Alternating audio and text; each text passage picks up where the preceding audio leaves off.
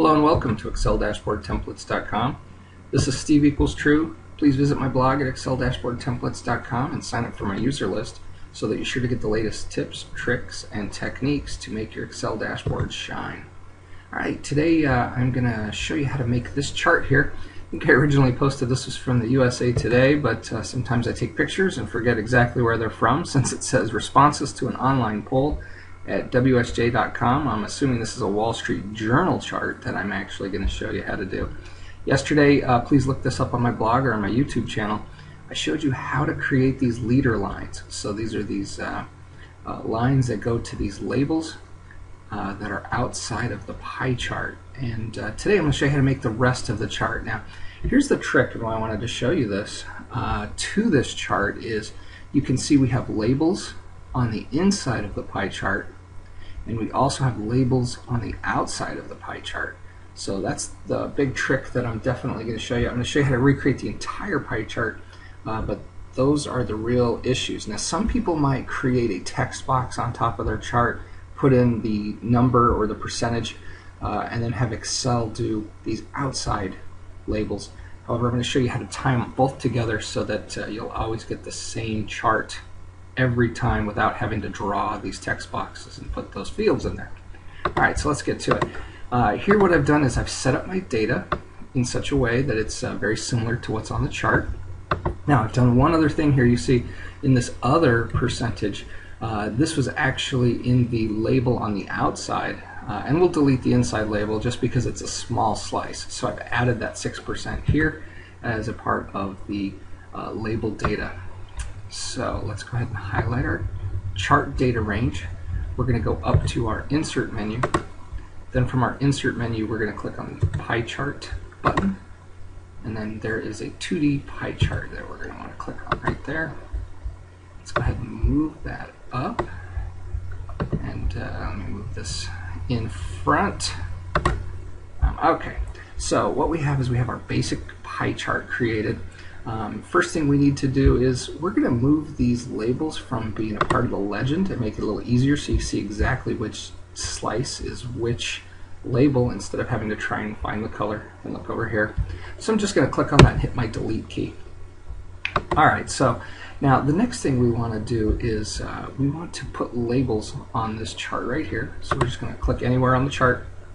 You can see it's got all of the data points highlighted. And then we're going to go up to our layout ribbon. And from our layout ribbon there is this data labels button in the labels section. And we want to choose outside end. Alright, so let's put our labels here on the outside. Now I actually want the label um, categories, not the values. So I'm just going to right click on any label and you'll see in my pop-up menu format data labels is a choice. You can also hit control 1 and that'll fix that for you as well.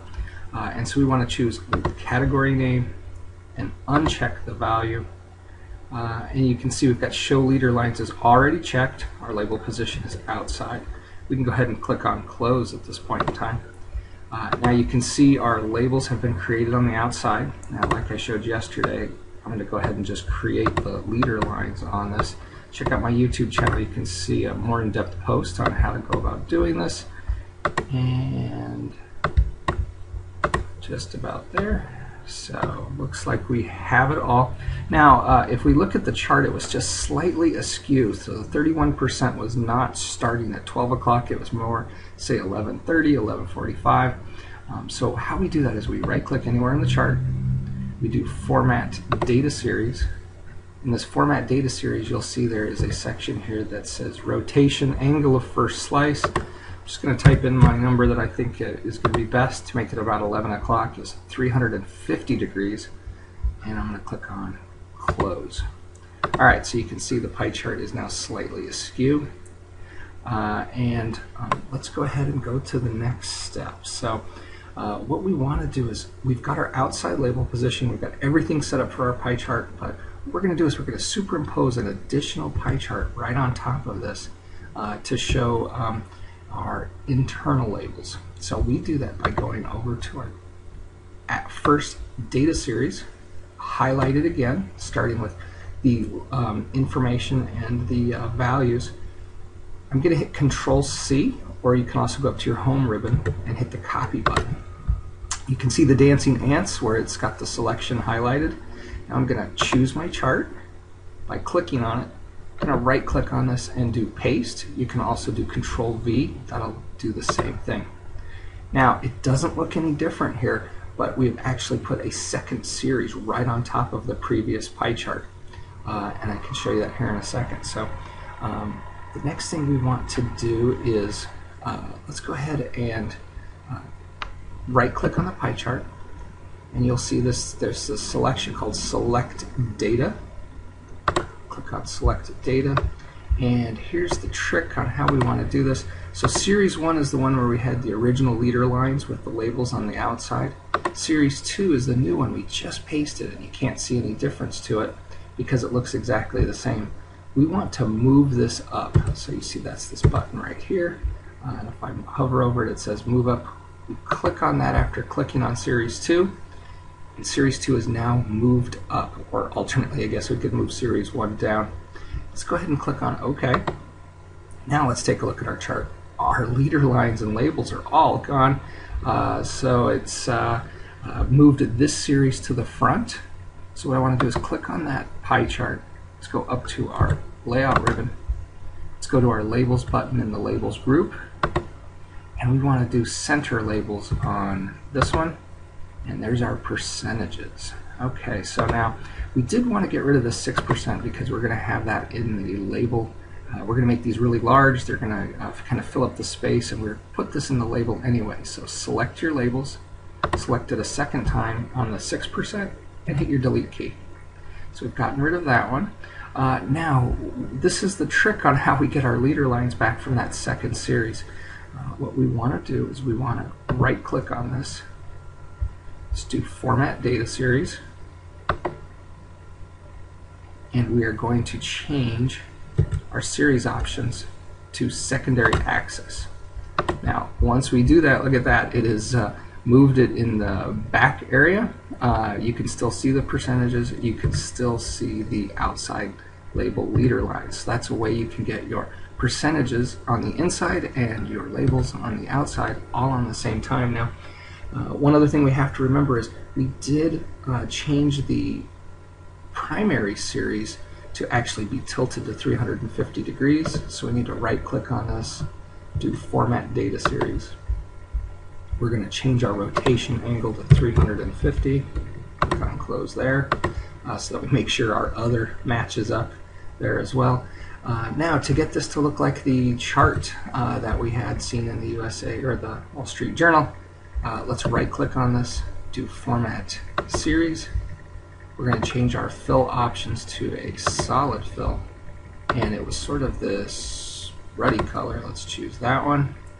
And we want to change our border color to a solid line. And we want to change that to a white style and let's change our border style actually. Let's move this up to about uh, this width here, up to about two points to uh, make it really stand out. And click on close. Now you can kind of see this is really looking like what the original chart looked like. Uh, all we need to do is probably click on these labels here, go up to our home ribbon, and let's change the font color of these to white. Uh, and then let's change the size of these labels to something pretty large.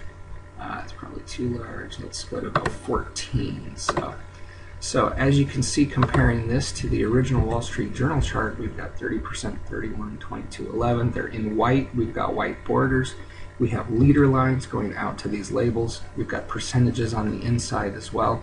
Uh, now, if we went and changed any of these values, let's change this uh, second one, weak economy to 77%, you'll notice our labels shift, our outside labels shift, everything is controlled without doing text boxes or anything else, uh, so you can see it uh, shifts everything accordingly because they are two identical pie charts overlaid on top of each other to get the inside and the outside lines. All right, uh, please visit my YouTube channel uh, here in Excel dashboard templates uh, so that you're sure to get the latest posts delivered directly to your inbox. Uh, also, you can check out some of my other videos, have lots of them posted out there to show you other tips and tricks in creating Excel dashboard charts. Thank you.